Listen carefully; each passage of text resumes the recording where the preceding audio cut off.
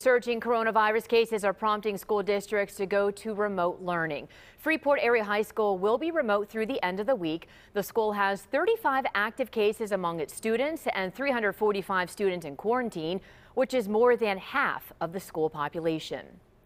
The Biden administration says it's taking steps that will help keep schools open amidst a record-setting surge of COVID cases.